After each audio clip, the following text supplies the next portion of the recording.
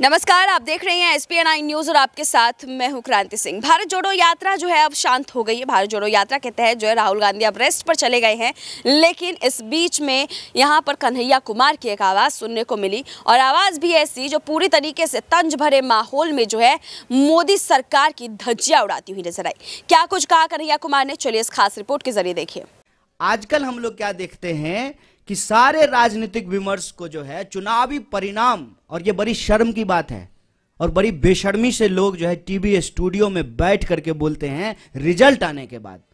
हम सबको जो है, अपने ऊपर एक सवाल खड़ा करना चाहिए, कि जब रिज़ल्ट आ गया है, तब ये आप क्यों कहते हैं? रिपोर्टर भी बोलते हैं, पार्टी के स्पोक्स पर्सन भी बोलते हैं, अब असली खेला शुरू होगा। क्या खेला शुरू होगा? ये बेशर्मी हमारे आँख के सामने में हो रही है।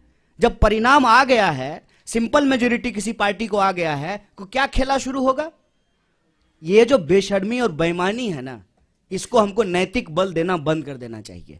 चुनाव जीतने की अगर बात करते हैं, मध्य प्रदेश की चुनाव हम नहीं जीत गए थे। कैसे मध्य प्रदेश में हमारी सरकार चली गई? क्या कर्नाटक में हम चुनाव नहीं जीत गए थे? क्या गुजरात में हमने जो है वो सिचुएशन नहीं देखा? जो लोग यहाँ बैठे हुए हैं, उसके ऊपर आप तमाम तरीके का आरोप लगाते हैं। और वही लोग जो है, जब भाजपा के दफ्तर में जाकर के बैठ जाएँगे तो सब ठीक हो जाएगा। क्या इस पर हम सवाल खड़ा नहीं करेंगे? आज इस देश में इंस्टीट्यूशंस पे अटैक है। और इलेक्शन एक कंपोनेंट है। हमको दूसरे इंस्टीट्यूशंस के भी बारे में सोचना पड़ेगा। पार्लियामेंट अचानक से बंद कर दिया गया। बताइए। अचानक कोविड हो गया, और सुबह में कोविड हुआ, और शाम में कोविड समाप्त हो गया। वही लोग जो मास्क लगा करके पार्लियामेंट में आए थे सुबह में, शाम में मास्क लगाना भूल गए।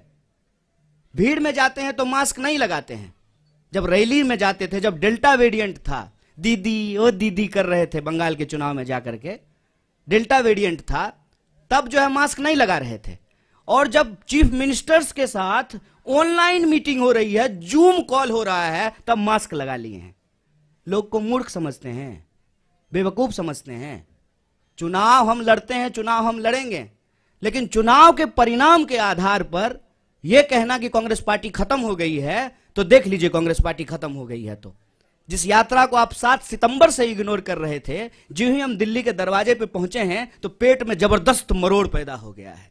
तमाम कोशिश कर रहे हैं। सुना आपने, कन्हैया कुमार ने सीधे तौर पर जो है मोदी सरकार की धज्जियाँ उड़ाते हुए एक एक बातों का जो है यहाँ पर बदला लेते हुए नज़र आए। लेकिन देखना बेहद दिलचस्प होगा कि कोविड को लेकर के जो वो कहानी गढ़ रहे हैं, क्या सच में जमीनी स्तर पर भी ऐसा है या मोदी सरकार अपनी जगह बिल्कुल ठीक है। आप कमेंट सेक्शन में अपना तर्क ज़रूर बताइएगा। फ़िलहाल आज के लिए बस इतना ही। देश दुनिया की तमाम बड़ी खबरों के लिए देखते रहिए एस न्यूज़।